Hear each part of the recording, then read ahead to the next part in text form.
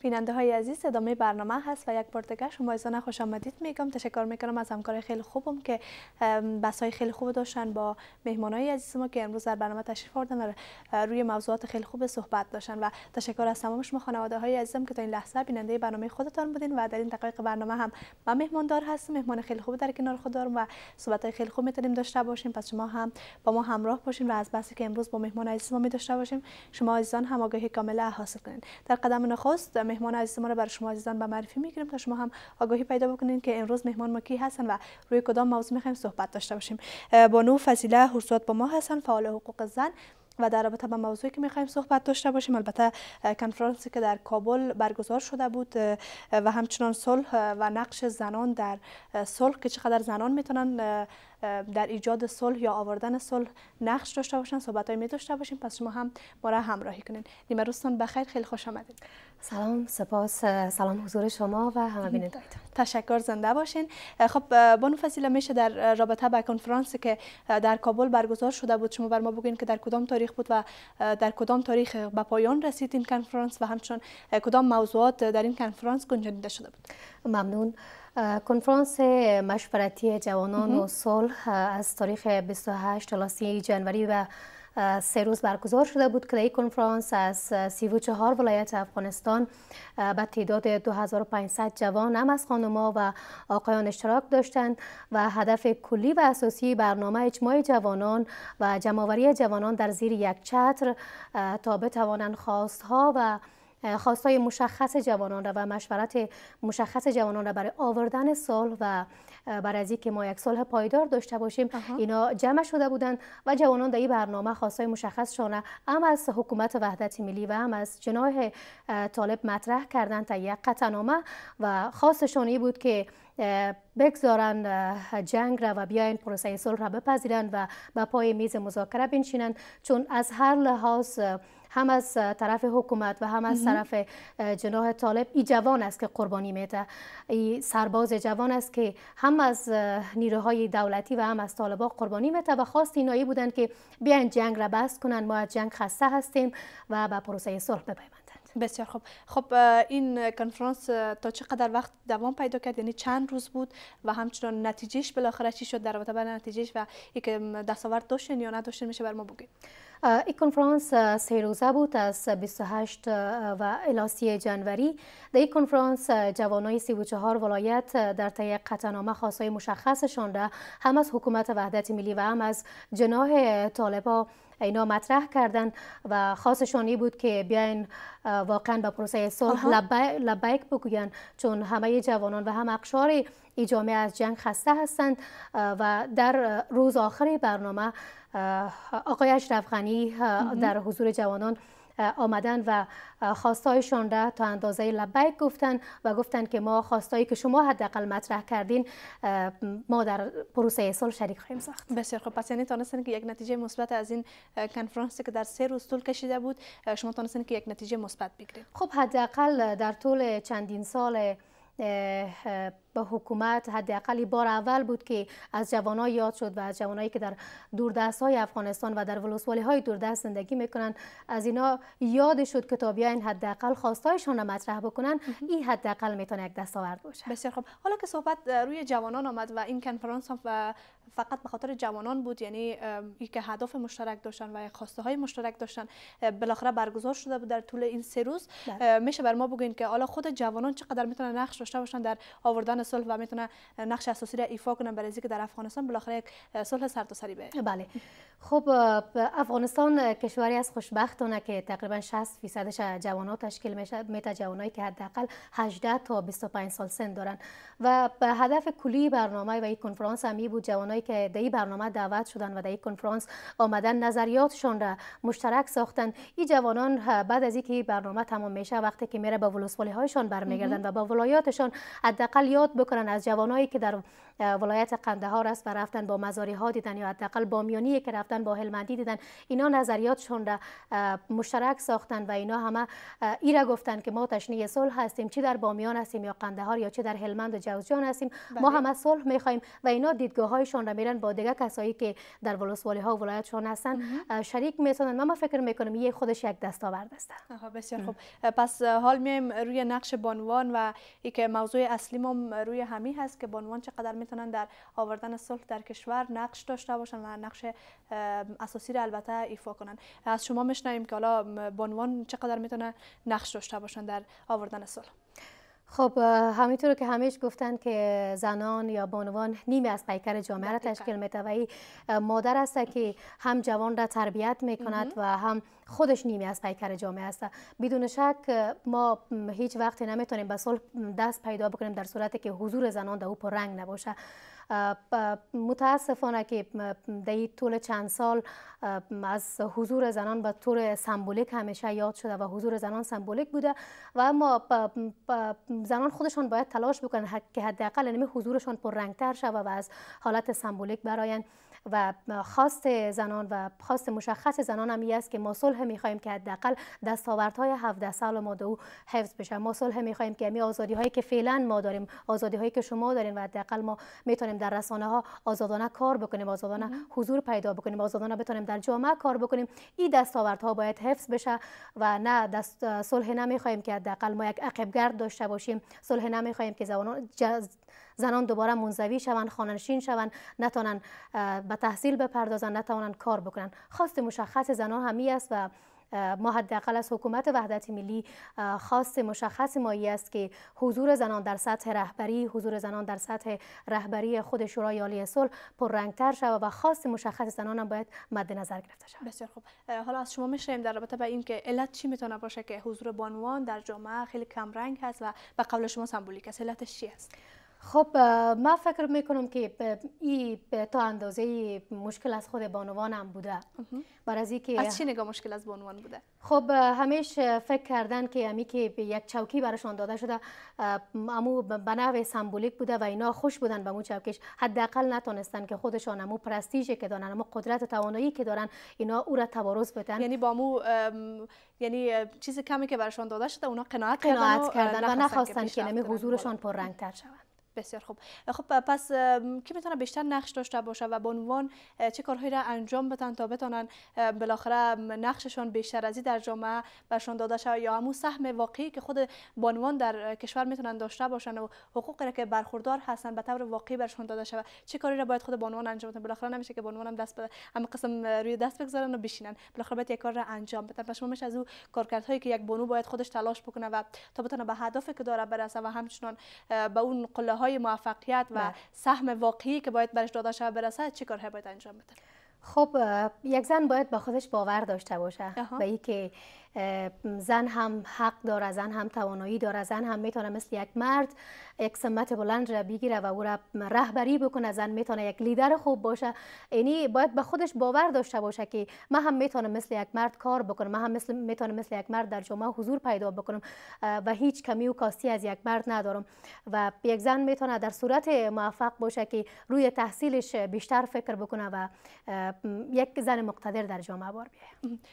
شما از باور یاد کردین که بانوان به خودشان یعنی باور داشته باشن و اعتماد به نفس بالایی داشته باشن که یعنی به این فکر باشن که ما هم مثل یک مرد می‌تونیم در تمام عرصه هایی که هست نقش داشته باشیم و فعالیت کنیم و موفق از او از عهده امو کاری که بر ما سپرده شده بالاخره بله. انجام بدیم کار با وجود مشکلاتی که در افغانستان هست و بانوان متاسفانه متاسفانه بگیم که همیشه سرکوب شدن همیشه اون خواستهایی که داشتن برشون داده نشده و یا از طرف خانواده مورد حمایت قرار نگرفتن یا هم مشکلاتی که در جامعه بوده بالاخره نتونستن به مو هدفشون دست پیدا بکنن. پس چگونه می‌تونن این باور به خودشون ایجاد کنن و یا همین توانایی را برای خودشون بتن که یعنی ما می‌تونیم این کار انجام بدیم؟ کی بیشتر می‌تونه نقش داشته باشه؟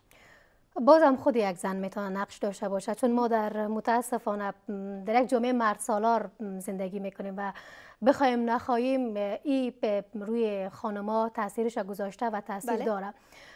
مایی که در رسانه کار می‌کنم یا شمایی که در رسانه کار میکن بخوای نخواهی از طرف جامعه از طرف مردم یا حداقل از طرف خانواده ممانعت وجود داشته.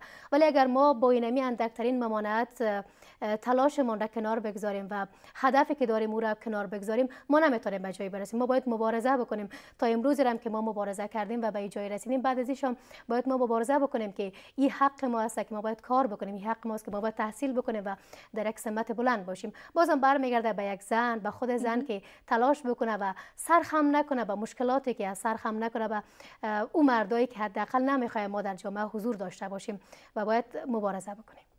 بله واقعا بعضی از خانواده ها رو ما می‌بینیم یعنی البته بعضی از مادرایی که در یک خانواده هستن ما می‌بینیم که دخترایشون منع می‌کنن که این کار شما انجام ندین شما یک دختر هستین و بیشتر پسرانشون مورد تشویق و حمایت قرار میدن اما یک بانو را جایی که بیان تشویق کنن که تو می‌تونی این کار انجام بدی مثل برادرت یا مثل پدرت می‌تونی تو هم در جامعه نقش داشته باشی و کارهای فوق العاده را انجام بدی. ما بالای تو باور داریم اما میان امو یعنی توانایی یک بانو را زیر سوال می‌برن و میگن که تو نمی‌تونی تو باید در خانه بشی. خب به قول شما البته مشکل از خود بانوان هم می‌تونه باشه که یعنی تشویق نمی‌کنن دختر خانمشون اگر آقایان یا پدر خانواده یا هم برادر خانواده مشکل می داشته باشه پس حداقل مادر خانواده یا هم خواهرایی که هست در یک خانواده باید اونا حداقل خواهرشون یا دخترشون حمایت کنن.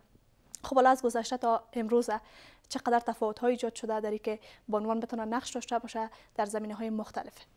خب بدون شک نمی‌تونیم ما های زنان را نادیده بگیریم. حداقل در طول 17 سال گذشته و تا امروز نقش زنان در تمام عرصه ها پررنگ شده. ما هیچ به هیچ عنوان نمی‌تونیم را نادیده بگیریم. اگر در رسانه است اگر در حکومت است اگر در نهادهای شخصی است حداقل حضور زنان خیلی خوب شده و من امیدوار هستم که حکومت وحدت ملی و کسایی که در رأس حکومت قرار داره بیشتر از این بانوان را حمایت بکنه و بیشتر از این برای بانوان نقش اساسیشان را بتن و بس خانواده ها و از آقایانی که در کنار مرد خانمایشان هستند از اینا تقاضا و خواست و خواهش مایی است که همسرشان است خواهرشان است و هر زنی که در کنارشان است اونا را تشویق بکنن اونا را حمایت بکنن چون ما واقعا به حمایت مردها نیاز داریم و حمایت کسایی که در کنار ما هست نیاز داریم تا بتونیم که نقشی که برای ما زیبنده است را ادا بکنیم. بانو فضیله از شما میشنویم که به نظر شما شما که یک بانو هستین و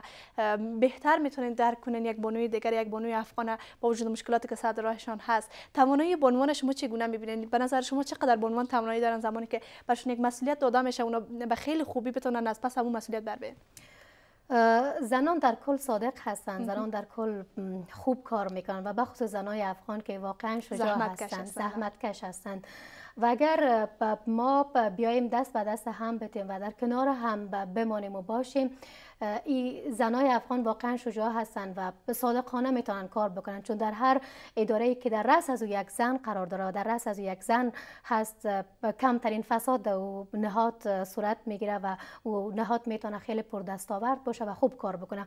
این زنا هست که باید باز هم خودشان تلاش بکنن تا نقش اساسیشان را پیدا بکنن. آها بسیار خوب. پس به امید روزی که زنان واقعا امو حق حقوقی را که برشان داده شده به طور درستی یا به طور کامل بتونن امو از امو برخوردار باشن تا بتونن نقش خیلی خوب در جامعه داشته باشن و در تمام عرصه ها به پا به پای مردهایشون یعنی اونا هم کار بکنن و فعالیت داشته باشن و در آوردن صلح نقش خیلی خوب را ایجاد کنن. خب حالا میشنیم از شما در رابطه با این که اگر بر بانوان نقش داده شود در جامعه ما در حکومت ما در هر عرصه‌ای که باشه چقدر می‌تونه صلح بیاید و چقدر می‌تونه آرامش و امنیت بالاخره تمام مشکلاتی که در افغانستان هست بالاخره برطرف شه با حضور بانوان البته خب بدون شک بیشتر هم گفتم که بدون حضور زنان بدون حضور گسترده زنان نمی‌تونه یک جامعه برفا برسه نمی‌تونه پروسه صلح معنادار بله. باشه وقتی اگر سهم زنان نادیده گرفته شود که زنان که نیمی از پیکر جامعه هستند و نیمی پیکر جامعه را اینا آموزش و تربیت می‌کنن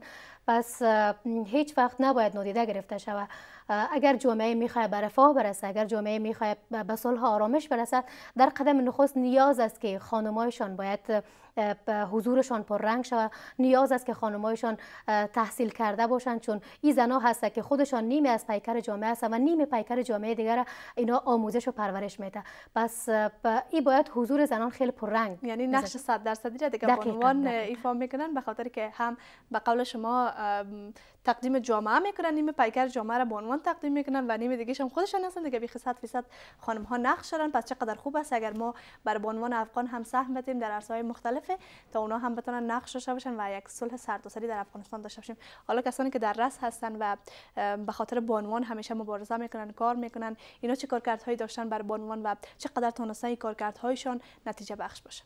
کسایی که در رأس نهادهای زنان هستن یا بله. در کل حکومت کلا حکومت و کسایی که فعلا به خاطر زنان کار می‌کنن و نهادهایی ساختن که حمایت می‌کنن از بانوان اینا چی کارکردهایی داشتن خب بازم نمی‌تونیم که نقش حکومت وحدت ملی را در ای که زنان را خیلی رشد دادن زنان را حداقل یک زمان بوده یک عصری بوده که زنان خیلی رشد کرده در حکومت وحدت ملی را نمیشه نادیده بگیریم ولی با آن هم هنوز هم کم است. یعنی همون که ما ادعا می‌کنیم که ما با 50 فیصدی از جامعه را تشکیل میدیم و نیمی از پیکر جامعه هستیم باز هم خیلی کم است.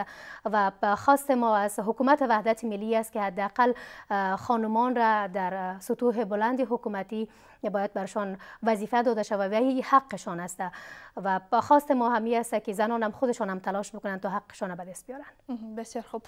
خب پس با کدام برنامه های بون فضیله می‌تونن بانوان بیشتر تلاش بکنن تا بتونن حق واقعیشان به دست بیارن؟ از دیدگاه شما که شما یک زن هستین و کارکردهایی هم داشتین حالا به نظر شما بانوان با کدام کارهایی می‌تونن نقششون واقعا پررنگتر بسازن در جامعه؟ خب در قدم اول یک زن باید بفهمه که چی حق داره. وقتی که بفهمه حق داره زندگی بکنه حق داره تحصیل داشته باشه حق داره که آزاد زندگی بکنه حق داره که در سطوح مختلف جامعه می‌تونه کار بکنه و به خودش باور داشته باشه که می‌تونه که این کار انجام بده. او زمان است که یک زن می‌تونه واقعا نقش خوبی داشته باشه و تحصیل یگانه راهی است که زن می‌تونه به موفقیت برسه. وقتی یک زن هم تحصیل داشته باشه با سواد باشه و هم این قدرت و توانایی را داشته باشه که بتونه یک ایده کثیری را کنترل بکنه و رهبری بکنه او زمان است که زن می‌تونه خودش به موفقیت برسه. بسیار خوب. حالا شما این کنفرانسی که داشتین به خاطر جوانان و حضور جوانان که در آوردن سال چقدر می‌تونن نقش داشته باشن. ها کدام پلان دیگه هم دارین که به خاطر از که یعنی همچون یک برنامه ایجاد کنین شما به خاطر از که بانوان هم نقش داشته باشن برای که چقدر می‌تونن در ایجاد صلح یا آوردن صلح یا خواسته هایی که البته دارن بیان کنن خاطر برای حکومت. شما کدام برنامه ای دارین دقیقا فکر کنم در آینده های نزدیک از تمام ولایات از تمام ولسوالی ها همونطور که یک اجماع ملی جوانان بود اجماع ملی زنان هم تشکیل خواهد شد و در این کنفرانس خواست های مشخص زنان و مشورت های مشخص زنان در رابطه با پروسه صلح از اینا گرفته خواهد شد و ما امیدوار هستم که حداقل این حرفا در سطح کاغذ در سطح گفتار باقی نمونه و زن افغان بتونه که جایگاهش را در حکومت جایگاهش را در پروسه صلح و حق و حقوقی که واقعا حق داره و زیبندهش است داره به دست بیاره بسیار خوب. تشکر از شما بون فضیله در آخر اگر کدام گپ باقی مانده باشه از صحبت های ما کمره در خدمتتان است. خیلی کوتاه شما میشنیم خیلی ممنون. که دعوت کردین و کمیتو در اختیارمون گذاشتین. ممنونتون. زنده باشین. تشکر از شما. از که دعوت ما را پذیرفتین و به برنامه ما تشریف آوردین. تشکر از شما. بیننده های عزیز جهان سپاس از شما. خوبان هم که تا این لحظه ما را دنبال کردین. خدا کنه که بس بر شما هم جالب بوده باشه و تونسته باشین. به عنوان عزیز کم و از حق و حقوقتان البته آگاهی پیدا کرده باشین و مبارزه کنین به خاطر رسیدن به حقتان و این حق است که باید شما بگیرید حق دادنی نیست حق گرفتنی است پس شما خودتان مبارزه کنید تا بتونین بعد دستش برین. در این لحظات برنامه هم بخشی که آماده نشر است. میریم با هم یک تماشا می‌کنیم. در ادامه برنامه ما رو فراموش نکنید تشکر از اینکه برنامه ما را تماشا کردید. اگر می‌خواهید برنامه قبلی را تماشا نمایید اینجا را کلیک کنید. و اگر می‌خواهید برنامه بعدی را ببینید اینجا را کلیک نمایید. و اگر می‌خواهید به channel یوتیوب ما بپیوندید اینجا را کلیک نمایید.